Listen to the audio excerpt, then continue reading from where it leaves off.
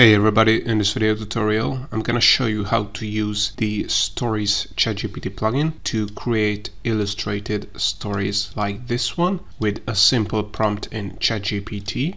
Alright, so this is the Stories ChatGPT plugin we're gonna use to create these beautiful illustrated stories very easily from scratch. So before I would show you an actual example, I just want to let you know that I have a full tutorial on this Stories ChatGPT plugin where I can learn about how this plugin works and I also share some of the best prompts you can use this plugin with. And you can also get access to a complete database of all currently available ChatGPT plugins that can be installed from the ChatGPT plugin store. You can search this plugin database by category, plugin name, description, and get quick access to ChatGPT plugin video tutorials, the best use cases and prompts for all available ChatGPT plugins. The database can be downloaded for free, but you can also support the maintenance and the frequent updates of the database with a small donation. Any support is appreciated. You can get access to this database by using the link in the description below. But now let's see how to use the Stories ChatGPT plugin. So before you would be able to use the plugin, you have to make sure that you have a ChatGPT Plus subscription and you have enabled plugins in your ChatGPT account because then you're going to be able to select the plugins model here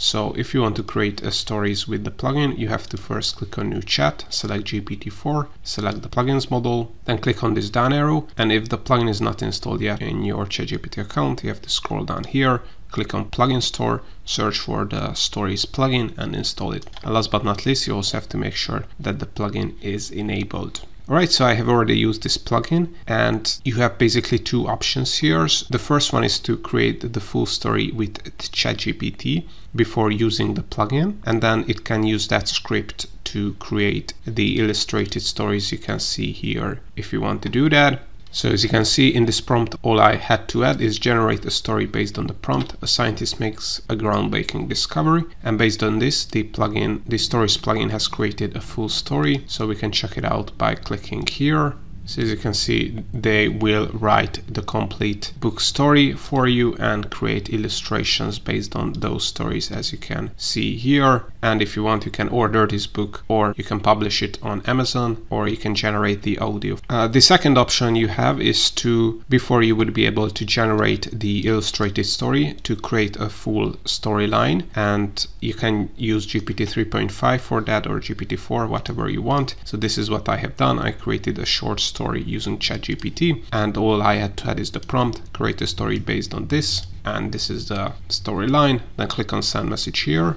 So as you can see, the plugin has been activated, so you can use natural language. You don't have to use any kind of function. And the storyline has been added to the prompt. And based on that, a book has been created with the title, The Crystals Revolution, with a blurb, with the URL, with additional information for the assistant and here's the story you can check out. So this is the link to the story. So just like with the previous example we got a full story on this book. We can order this book publish it in amazon or generate audio for the storyline.